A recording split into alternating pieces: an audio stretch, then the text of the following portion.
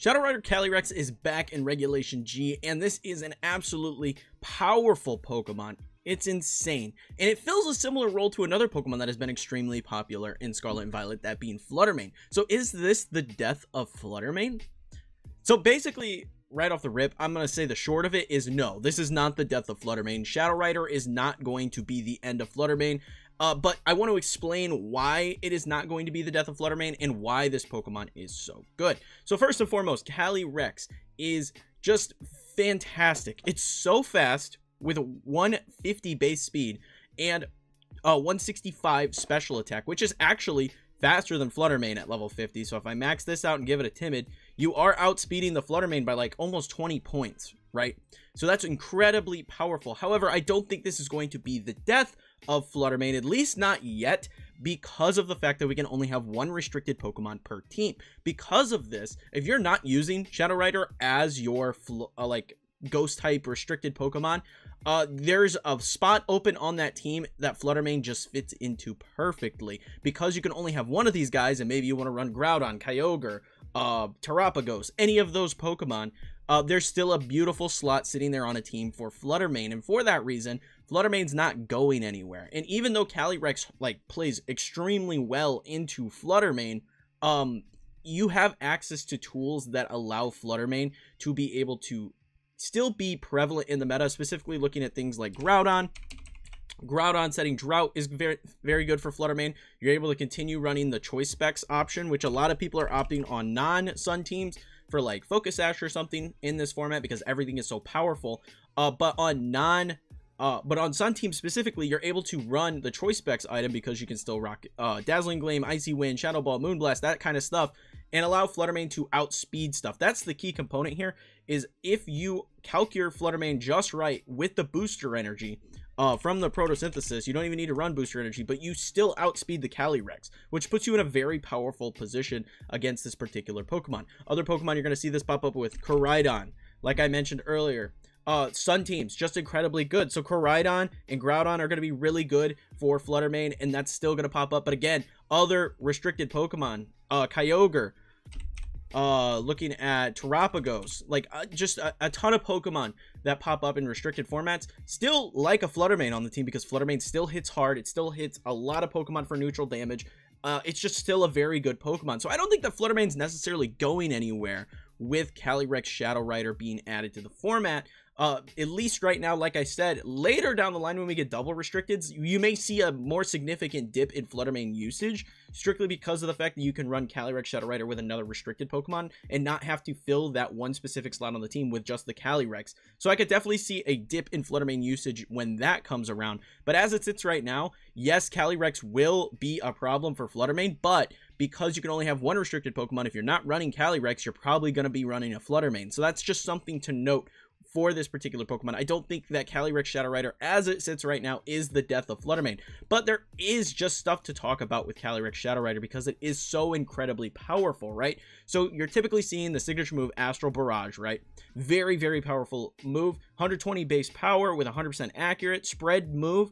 Very, very good, especially when you pair it with the ability which is as one, which you get the unnerve ability, so things like Incineroar, etc., can't eat their berries, which is really good. And then on top of that, you also have the Grim Neigh, which is going to boost your special attack each time you KO a Pokemon, which is incredibly powerful. Very, very good uh, ability for this Pokemon. So it allows Calyrex to really snowball and get ahead of the competition very quickly, especially depending on what you're seeing on the opposing side of the field.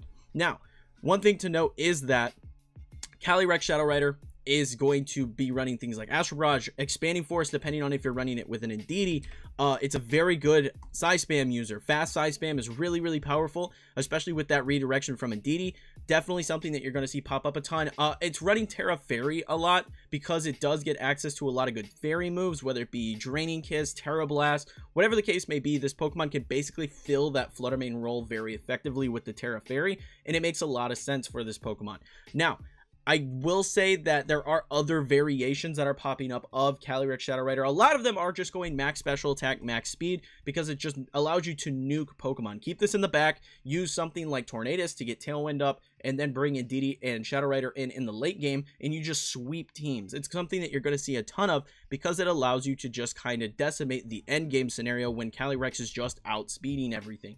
Very powerful Pokemon for that reason, but you are seeing it with other stuff. If you're not necessarily running it next to Indeedee, because I have seen plenty of Calyrex without Indeedee, uh, you see stuff like Psyshock. Uh, let's see what other Psychic moves it does get access to. Uh, Psychic is an option, but Psyshock seems to be the thing that I'm seeing pop up the most. And then you're seeing Nasty Plot with it as well. Uh, Nasty Plot is another good move. You can follow me away with Indeedee or whatever. If you have a fake out user like Incineroar, uh, you can fake out, get the Nasty Plot up, and then do absolutely ridiculous damage.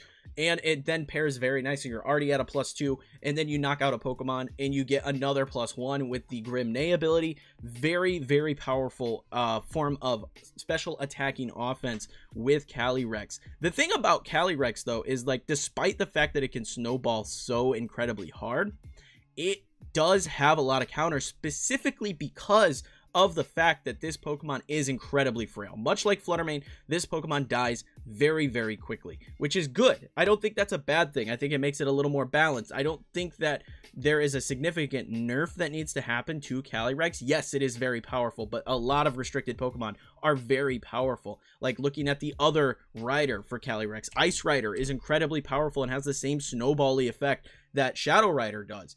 And I think that for this reason, I don't think that this Pokemon is absolutely out of uh I don't think it's absolutely out of this world as far as needing a nerf needs to be changed immediately like Zacian did last generation because like we saw, Zacian did get a nerf and Calyrex was left untouched. And I don't think that's a bad thing. I think this is totally fine considering how this Pokemon plays and how it actually functions. And like I mentioned, there are Pokemon that are going to be able to outspeed this or deal with this Pokemon very effectively. And we're going to talk about some of those Pokemon here in a second.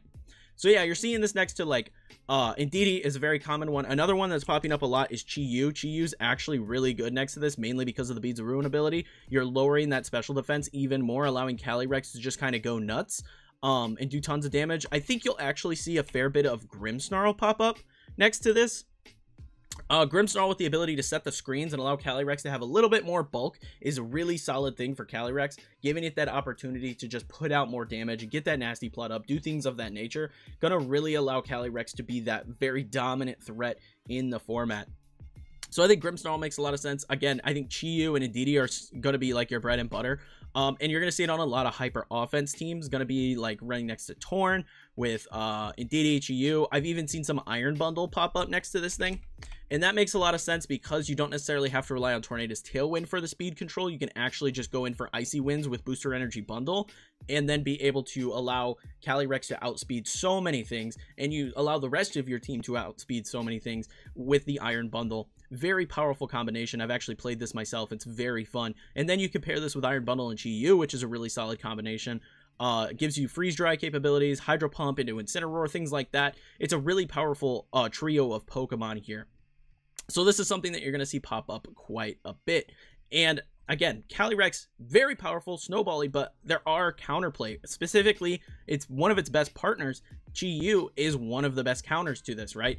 Chi-Yu is absolutely nuts as far as a Snarl user that can just kind of uh, mitigate the Calyrex and do super effective damage into the Calyrex as well. You're four times weak to Dark.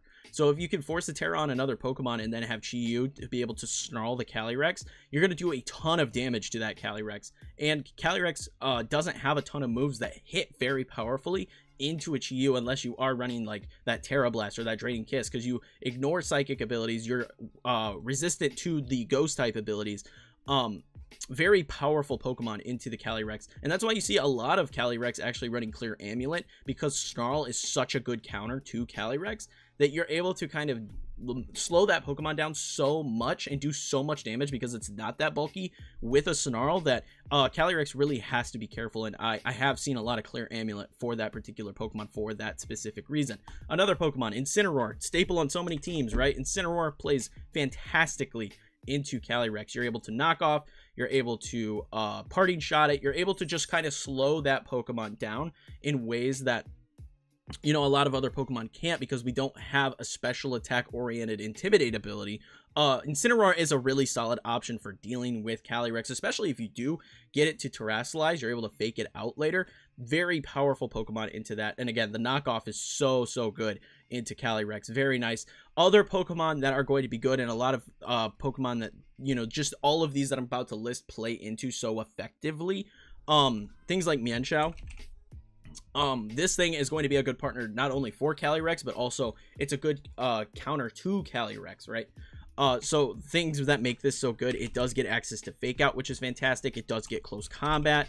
Um it does get wide guard which is the key component here. Wide guard is going to be so good in regulation G. Wide guard is just going to be incredibly powerful because of the fact that there are so many spread moves. Looking at things like Calyrex Ice Rider, Calyrex Shadow Rider, uh, Groudon, Kyogre, so many of these Pokemon have spread moves that do a ton of damage. So you having a wide guard user on your team is so important because you're able to have that counterplay and you can catch opponents off guard and make them go, do I want to click this move or do I want to click this less powerful move that is going to do damage still, but not to the same degree and give you that opportunity for counterplay.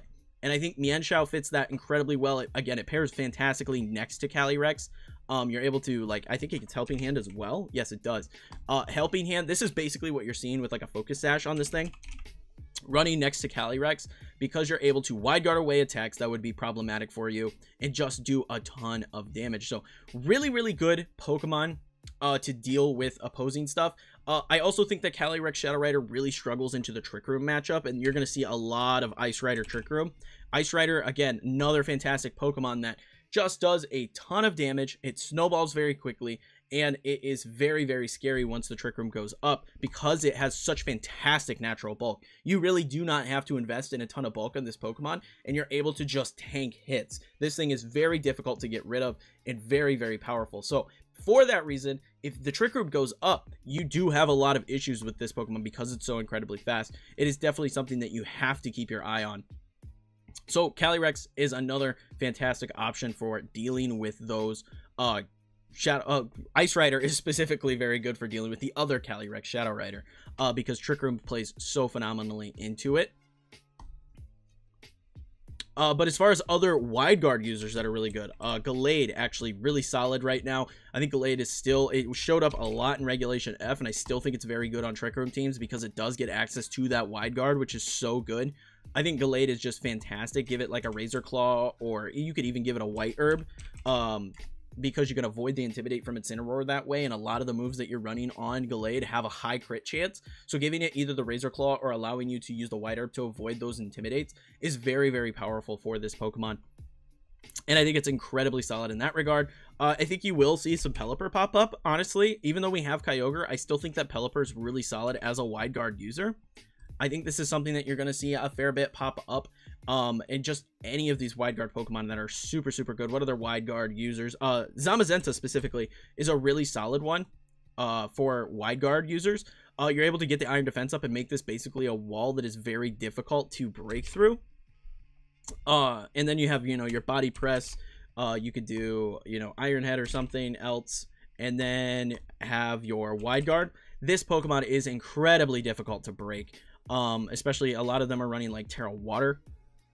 Very very difficult for uh, a lot of pokemon to break through the zamazenta.